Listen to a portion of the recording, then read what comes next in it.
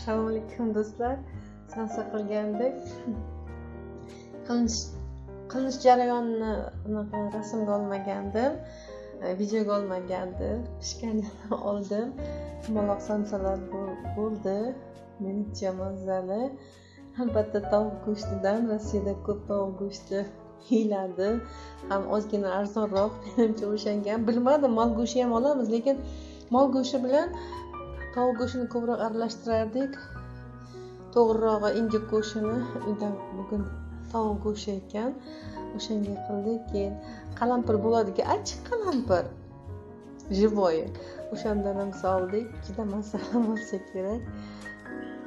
Do'stlarim rahmat. O'zimizga yoqimli ishtaha. Sizlarga tomosha qilganlaringiz uchun rahmat deb qolaman. Bir minut bo'ldi. Rahmat do'stlarim.